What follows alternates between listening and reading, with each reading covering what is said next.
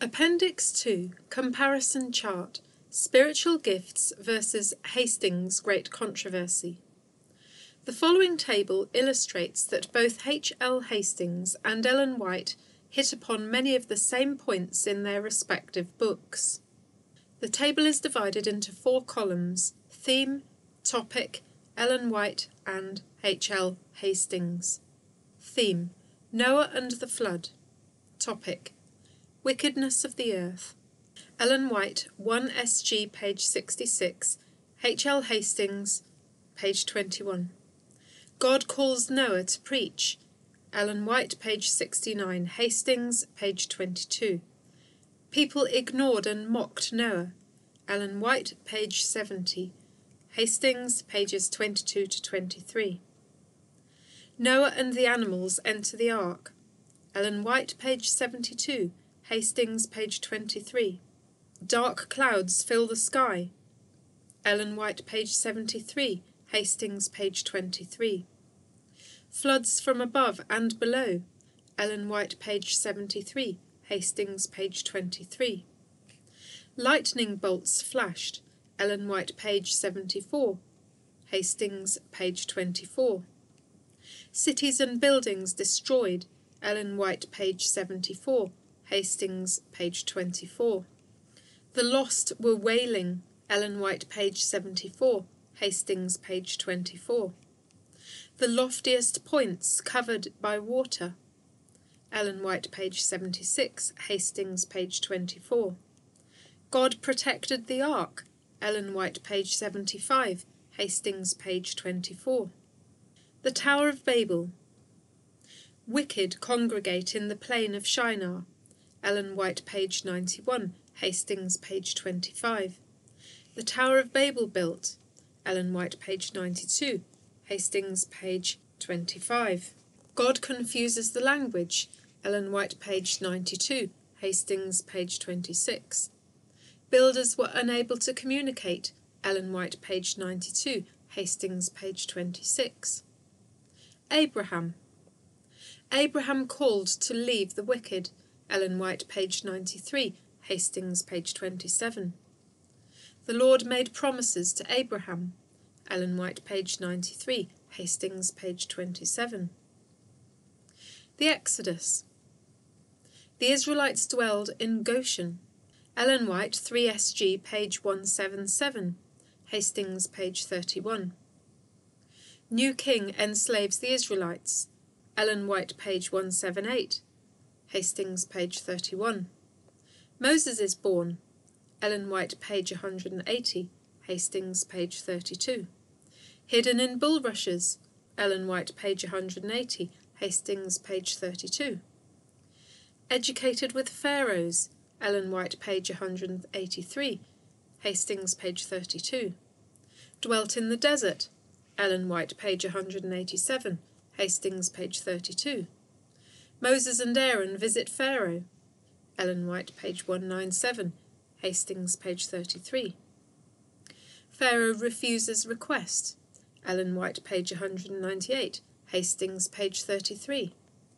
Pharaoh increases burdens upon the slaves. Ellen White, page 198. Hastings, page 33.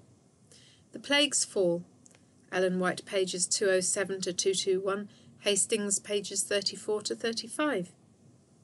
Passover observed. Ellen White, pages 222 to 228.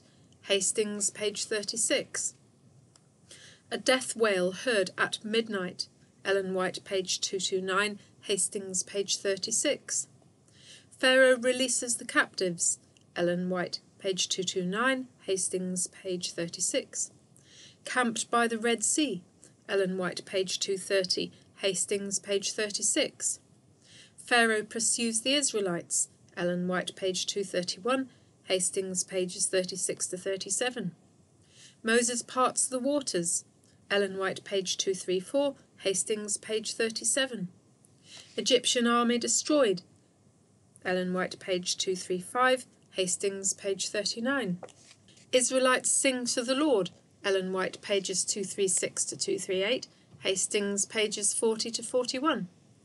Other nations witness the Exodus. Ellen White, page 242, Hastings, page 42. Jesus. The angels announce Christ's birth. Ellen White 1 SG, page 28. Hastings, page 80. John heralds Christ, baptizes. Ellen White, page 29. Hastings, page 81. A mob threatens to throw Jesus from the hill. Ellen White, page 36. Hastings, page 82. Jesus abused during the trial. Ellen White, page 55. Hastings, page 83. Jesus was delivered to be crucified. Ellen White, page 57. Hastings, page 83. The cross was laid on his shoulders. Ellen White, page 58. Hastings, page 83. Nails hammered in. Ellen White, page 59. Hastings, page 83. Hung between thieves. Ellen White, page 59. Hastings, page 83. Given vinegar to drink. Ellen White, page 60. Hastings, page 83. Guard placed at the tomb. Ellen White, page 65. Hastings, page 83. Guards lied about the resurrection. Ellen White, page 68. Hastings, page 84. Returns to heaven with captives. Ellen White, page 69. Hastings, page 85. Jerusalem's destruction. Apostles preached to Jerusalem. Ellen White, GC 88, page 28. Hastings, page 88. God rejected the Jewish nation.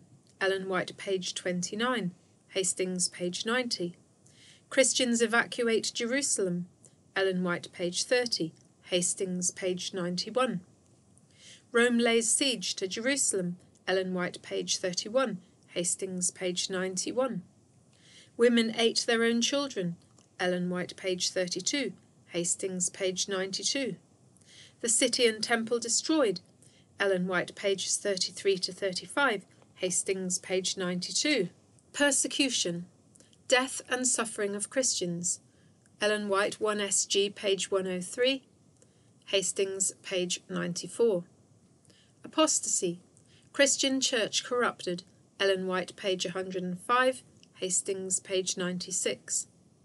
Some remained pure, didn't bow. Ellen White, page 105.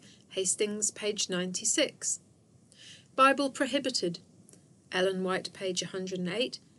Hastings, page 97. Commandments made void. Ellen White, page 110. Hastings, page 97. Reformation. Revival and Restoration. Ellen White, pages 120 to 123. Hastings, pages 105 to 108.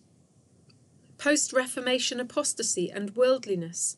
Ellen White, pages 126 to 128.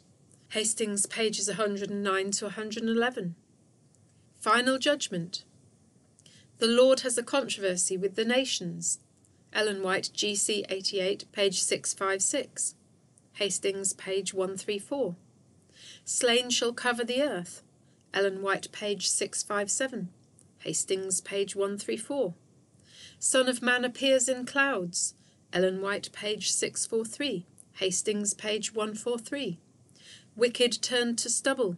Ellen White, page 673. Hastings, page 146. Lake of fire destroys the wicked. Ellen White, page 672. Hastings, page 165. New Earth. New Jerusalem descends. Ellen White, page 663. Hastings, page 166. Tree of Life. Ellen White, page 675. Hastings, page 166. No light needed. Ellen White, page 676. Hastings, page 166. Righteous unite in songs of praise. Ellen White, page 678. Hastings, page 167. Sinners are no more. Ellen White, page 678. Hastings, page 167. Then we have a new table entitled Examples of Plagiarism. And we've got two columns. On the left, Ellen White, Spiritual Gifts, Volume 1, 1858. And on the right, H. L. Hastings, Great Controversy, 1858. Ellen White, quote, As Jesus hung upon the cross, some who passed by reviled him, wagging their heads. Page 59. Hastings. Jews derided him, Pharisees and priests wagged their heads contemptuously. Page 83. Ellen White. They cruelly scourged him, and put an old purple kingly robe upon him, and bound his sacred head with a crown of thorns. They put a reed in his hand, and mockingly bowed to him, and saluted him with, Hail, King of the Jews! They then took the reed from his hand, and smote him with it upon the head.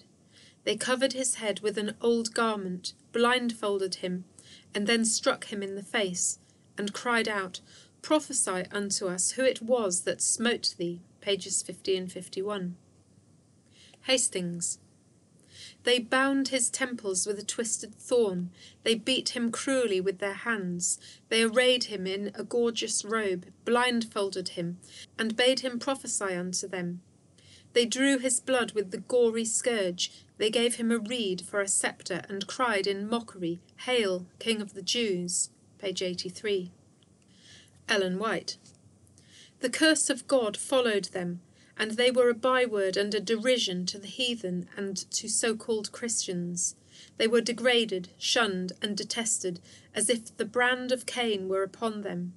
I saw that God had forsaken the Jews as a nation, but that individuals among them will yet be converted. Early Writings, Spiritual Gifts, page 213. Hastings. Have left their name for a curse to the world, have been a hissing and a byword among all nations.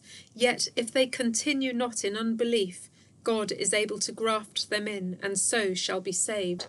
Page 93. Ellen White. The will of God plainly revealed in His Word was covered up with error and tradition, which have been taught as the commandments of God, page 111. Hastings. The truths of God were hidden beneath countless fables. The commandments of God were made void through man's traditions, page 97. The same extra biblical points Curiously, Mrs. White makes some of the same extra biblical points that H. L. Hastings makes in his Great Controversy. There are places where H. L. Hastings provides facts or points not found in Scripture, and Mrs. White makes the same points.